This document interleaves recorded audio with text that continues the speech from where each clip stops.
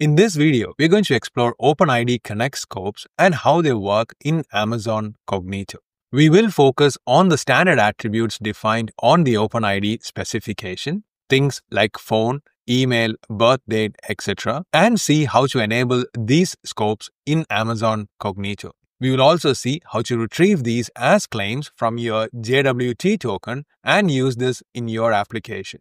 Hello everyone, my name is Rahul and welcome back to this YouTube channel where I talk about .NET, Cloud and DevOps. This video is part of my Amazon Cognito series and thanks to AWS for sponsoring it.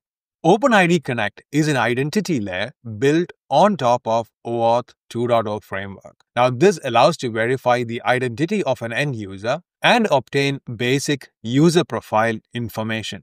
Now, a scope is simply a grouping of claims. Now, in OAuth, a scope is a string that may represent a resource the client requires access to. Claims are not part of the OAuth but are added as part of the OpenID Connect. In the OpenID specification, we have the default scopes, which has an associated set of claims attached to it. So the email has the email and the email verified claim the address has the address, and profile has a lot of information attached to it as part of claims, which includes the name, family name, phone, birth date, etc. Now, in the earlier videos where we examined the token, we did come across the email and the email verified scope that were there inside our JWT token. However, we didn't have any of the profile information. Now with Cognito, so if I switch over to my Cognito user pools, I have created two user pools here. Now if I navigate into one of them, which was the earlier one that we used throughout in this video, when we signed up when we created the user pool, if you navigate to the sign up, you can see the profile information that we are capturing. So you can see the required attributes and what we were capturing is just the name. Now there is no way to edit this once you have created a user pool which means if you want to capture additional properties that are there as part of the required attributes, you will have to create a new user pool for this. So I have gone up and created a new user pool where under the sign up, I have specified a couple more properties that are required. So you can see here, I am setting up as birth date, locale, and name as required properties. Now, when I registered the users for this, I had to specify those properties as well. So if I navigate into a user, I can see these properties that's defined on the user. However, if we navigate to one of the app clients that I have, which is the web app, if we are to log into this account, so let's use the view login page, we can see that the scope is included by default in the URL. So this is asking for the scopes of email, OpenID, and phone. Now, if you remember, these scopes are the default ones that's specified by OpenID Connect. So you can see the email, OpenID, and the phone. So only these information will be part of our claims. So if you complete this login, by specifying the username and the password, we will be redirected to get an authorization code, which we can further exchange to get a token. We have covered this in the previous videos in this series. Now, inside this token, if I examine the ID token for this, so let's copy that and put this in jwt.io, we can see this will include those claims. So we see the email, the email verified, etc. as claims inside this token. Now this is because when we logged in, we specified those as the required scopes by default.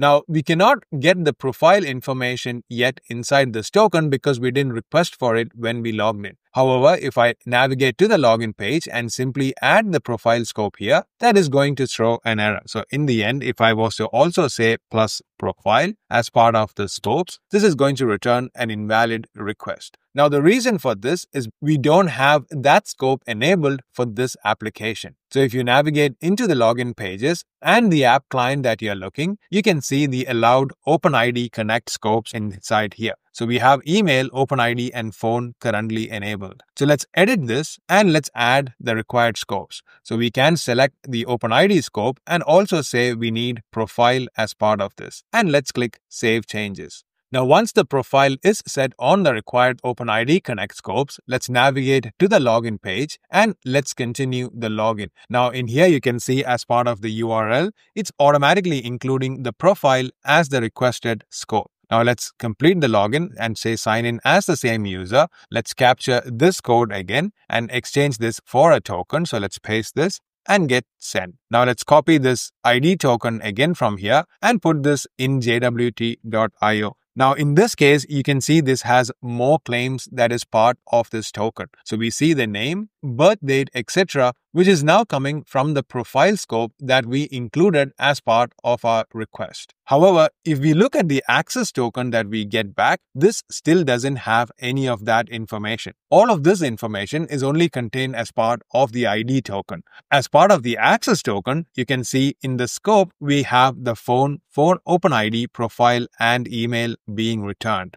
Now with OAuth, there is also a user info endpoint that you can hit to get the user details. So this is the same URL against which we get the token. You can use the OAuth to slash user info instead. And you can make a GET request by passing the access token as part of the authorization header. So let's replace this with the latest access token and let's make a request again. And this is going to return the user info for that logged in access token. So here you can see all the information about the user, which we have also in the claims as part of the ID token. So let's see how we can integrate this into our API application. So if I switch over to Rider, where I have an existing ASP.NET Core application that is wired up to this AWS Cognito application. Now, inside here, we earlier saw how we can add the policy-based checks, and we also saw how the ASP.NET policy-based framework works under the hood based on using requirements and requirement handlers. Now, in this case, we have an admin-only requirement,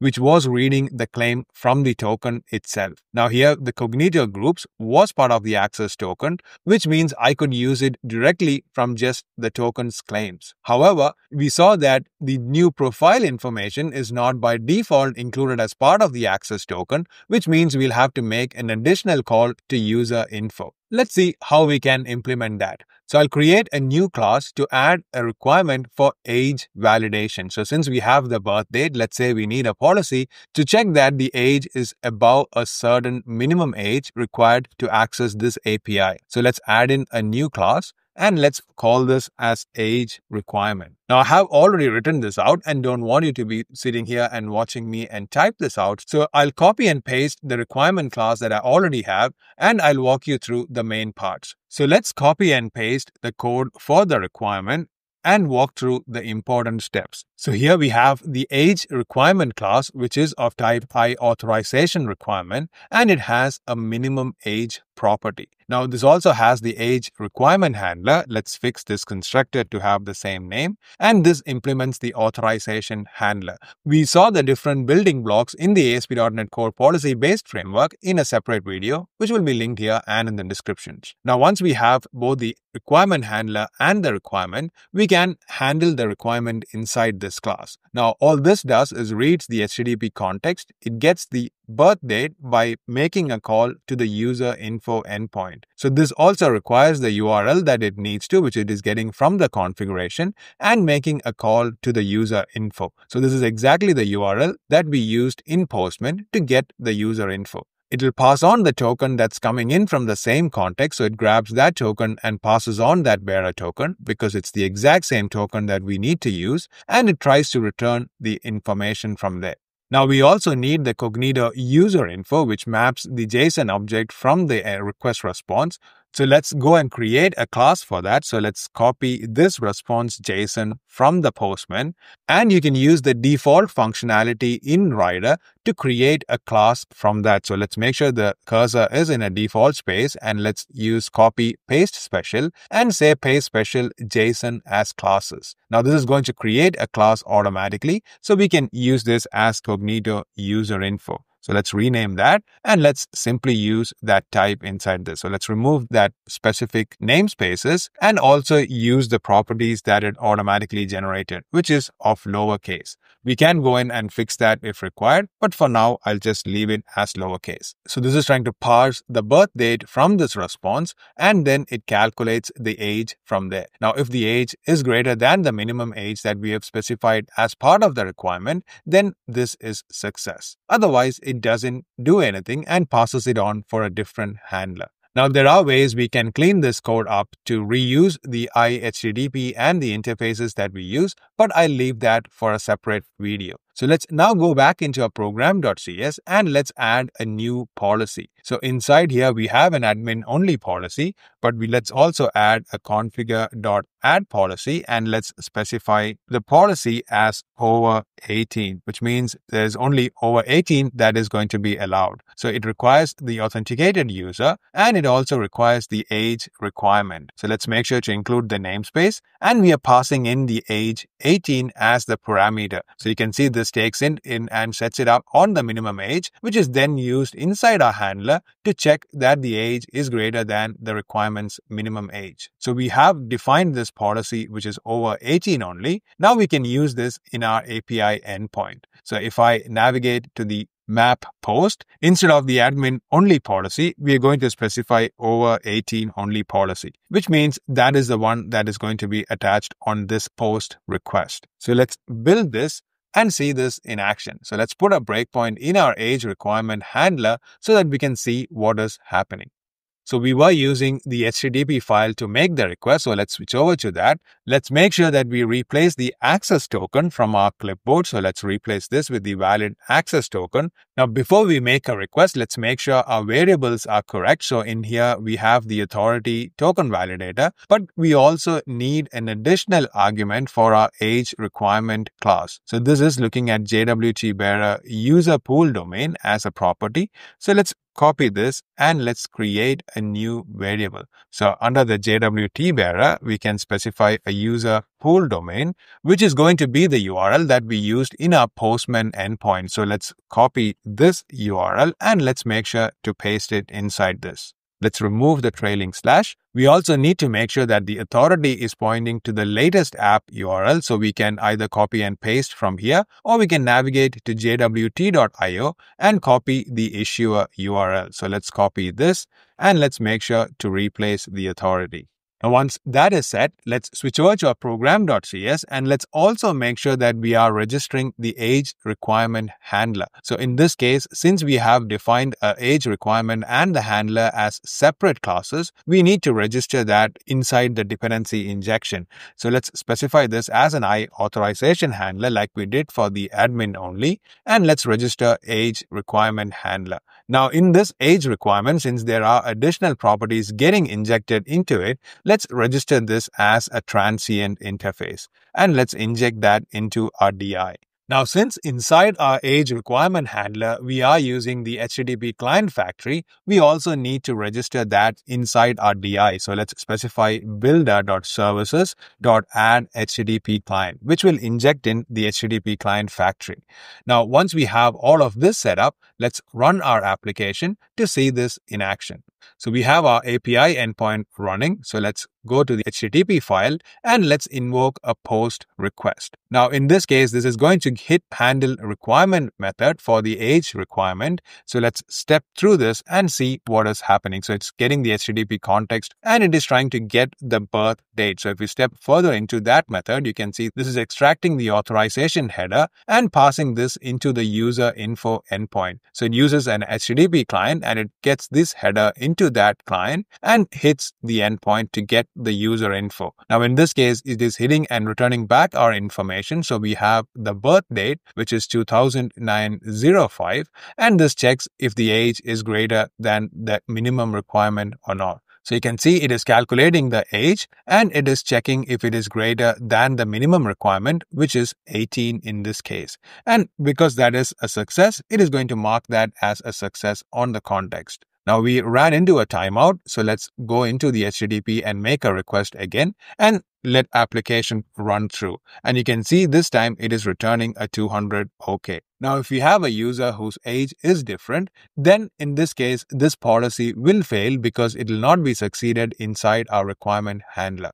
The other way to test this is also for the same user. Let's go ahead and change our requirement. So let's say instead of 18, we can change this age to be something else. So let's assume this should be over 40 years only. So let's specify over 40 only and change this as 40. And let's also make sure that we update the policy name to reflect that. So once we change that, let's debug this again and let's use the same token. And in this case, this should fail. So our application is running. So let's switch over to the HTTP file, hit the post in this case again, and let's put a breakpoint inside the age check and let's step through. So now the age is 24. However, the minimum age requirement is 40.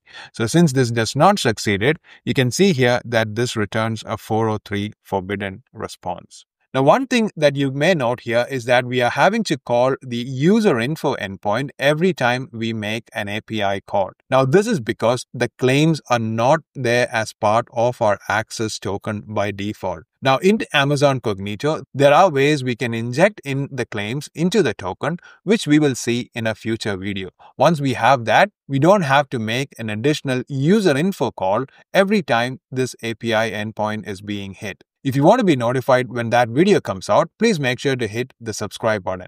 It also helps me to grow this YouTube channel. If you like this video, please make sure to hit the like button. Thank you and see you soon in the next video.